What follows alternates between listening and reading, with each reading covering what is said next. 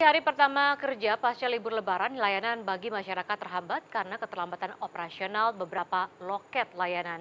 Menpan RB pun mengancam akan memberikan sanksi tegas bagi mereka yang tidak disiplin. Sidak yang dilakukan jajaran Gubernur Sumatera Barat ke kantor sistem administrasi Manunggal Satu Atap dan Samsat Kota Padang menemukan keterlambatan pelayanan. Loket yang harusnya mulai buka pukul 8 pagi belum juga melayani masyarakat yang telah mengantri sejak pagi hingga hampir pukul 9.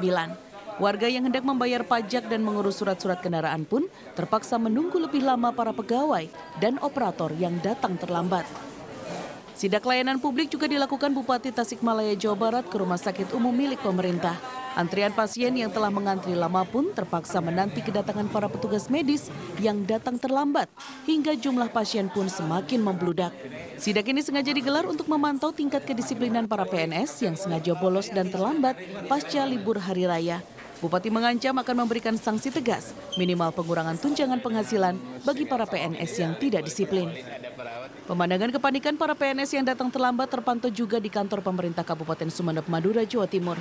Para PNS berlarian ketika melihat apel pagi telah dimulai dan berusaha menyelipkan diri di barisan paling belakang. Sayangnya tidak ada sanksi tegas yang diberikan bagi mereka yang tidak disiplin karena Bupati memaklumi keterlambatan dengan alasan terbatasnya sarana transportasi. Keterlambatan juga dialami para PNS Kota Makassar yang langsung memburu lembaran presensi tanda tangan setelah apel pagi selesai dilakukan. Kecurangan pun terungkap karena ditemukan absen ganda, yaitu presensi tanda tangan dan checklist kehadiran. Tahun lalu, 73 PNS tidak hadir di hari pertama kerja usai lebaran.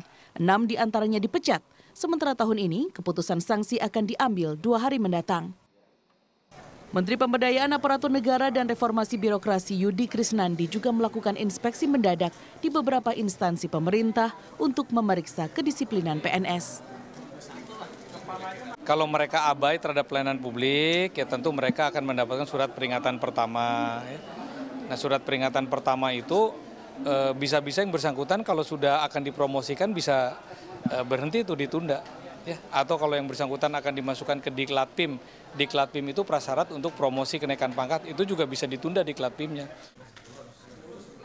Sanksi itu terutama diberikan bagi PNS yang kedapatan mengambil cuti pada tanggal 11 hingga 15 Juli dan melanggar surat edaran Menpan RB tertanggal 27 Juni lalu yang melarang PNS, TNI, dan Polri mengambil cuti tahunan lantaran libur lebaran selama 9 hari telah dirasa cukup. Tim Liputan Trans 7.